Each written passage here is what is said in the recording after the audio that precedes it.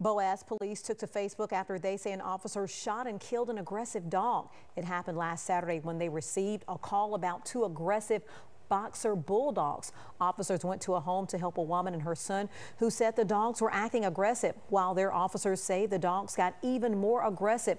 Pepper spray was used, but it didn't work. When the dogs charged, one of them was shot and killed. The department says the officer reacted for the safety of the public.